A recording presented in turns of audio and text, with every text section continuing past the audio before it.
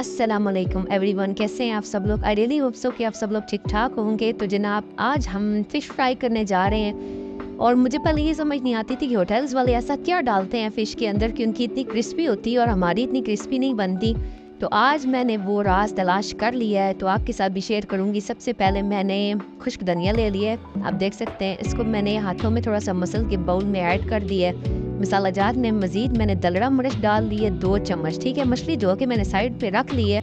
मज़ीद अब मैं इसमें ऐड करूँगी हल्दी। हल्दी मैंने आधा चम्मच या अगर आप अपनी क्वांटिटी के हिसाब से एक चम्मच भी डालना चाहते हैं तो डाल सकते हैं। नमक मैंने इसमें तकरीबन एक चम्मच भर के और एक आधी चम्मच डाली है। अजवाइन ले ली है जी। अजवाइन को मैंने अच्छी तरह मसल के मसाले में ऐड कर दिया है, ठीक है?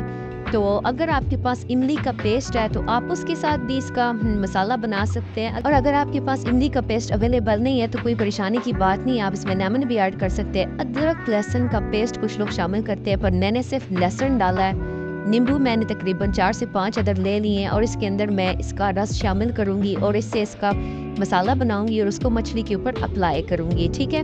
कोशिश करें कि मछली आप जब लाते हैं, ठीक है, उसको नमक लगा हुआ होता है, फ़ौरन से उसको धो के अच्छे तरीके से इसको उसके बाद उसके ऊपर मसाला लगाए अच्छा जी, मसाला हमारा बिल्कुल तैयार हो चुका है, आप देख सकते हैं, ठीक है। लेकिन ये मसाला अगर आप डायरेक्ट अप्लाई करेंगे मछली के ऊपर तो ये उसके ऊपर ठहरेगा नहीं, उतर जाएगा जब आप इसको फ्राई करेंगे। तो अब आपने इसमें तकरीबन तीन बड़े चम्मच भर के मैंने बेसन शामिल कर लिया है। बेसन आपने इसमें शामिल और करने के बाद जो नींबू वाला इसमें मैंने पेस्ट डाला हुआ था, उसी में आपने इसको अच्छे तरीके से पेस्ट बना लेना है। उस पेस्ट को आपने मछली के ऊपर अच्छे तरीके से लगा लेना है, मछली के पीसेस के ऊपर, और तकरीबन इसको अगर चाहे तो एक रात के लिए इसको छोड़ दे। एक दिन पहले इसको मसाला लगा के फ्रिज में रख दें और नेक्स्ट डे इसको फ्राई करें। अगर आपके पास टाइम कम है तो आप कम से कम इसको चार से पाँच घंटे मसाला लगा के, मैंने मछली को मसाला लगा दिया और इसको चार से पाँच घंटे के लिए मैं छोड़ दूँगी।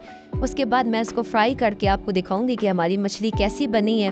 अच्छा जी, आपने एक और बात याद रखनी है कि जब भी आप मछली खरीदने जाएँ तो अपने सामने खड़े होकर मछली के पीसेस करवाएँ। मछली के पीसेस जितने पतले होंगे, इतनी आपकी मछली जब फ्राई होने के बाद अंदर तक उसका मसाला भी जाएगा और वो कच्ची भी नहीं रहेगी। और एक और चीज़ है कि मैंने अक्सर देखा है कि होटल्स में जो हम मछली खाते हैं, वो लोग फ्रेश मछली यूज़ नहीं करते। वो लोग मछली को फ्रीज़ कर देते हैं और फ्रीज़ करने के बाद दो तीन दिन उसको रखते हैं और जब कोई कस्टमर आता है तो उन्होंने पहले से मसाला लगा के उसको रखा हुआ होता है तो वो फ्राई करके हमें देते हैं। तो अगर आप फ्रेश मछली खरीदते हैं तो आपने देखा होगा कि वो थोड़ी सी उसमें पानी होता है। तो अगर आपके पास फ्रेश मछली है तो आप इसको फ्रीज़ कर दें। फ्रीज़ करने के बाद दो तीन दिन आप उसको फ्रिज में रखें और फ्रिज से निकालने के बाद धो के अच्छे तरीके से मसाला लगा के उसको फ्राई करें। मेरी मछली को मसाला लग चुका है। मसाला लगाने के बाद आप देख सकते हैं। अब मैं इसको तकरीबन दो से तीन घंटे के लिए छोड़ दूँगी और उसके बाद आपको फ्राई करके दिखाऊँगी। अच्छा जी तो मछली को मसाला लगे हुए तीन से चार घंटे हो चुके हैं तो अब मैं इसको फ्राई करने लगी हूँ। आप इसको डीप फ्राई करने, डीप फ्राई करने के बाद मछली हमारी डीप फ्राई हो चुकी है। आप देख सकते हैं, अंदर तक सही तरह पक चुकी है। किसी किस्म का कोई कच्चापन नहीं है, ना कोई स्मेल है, ठीक है? और सही क्रिस्पी हमारी मछली बनी है। आप इसको अपने फैमिली के साथ शेयर करें। अगर आपको मेरी वीडियो अच्छी लगी हो तो इसको लाइक, सब्सक्राइब और शेयर लाजमी करें। नेक्स्ट वीडियो तक के लिए अल्लाह हाफिज़।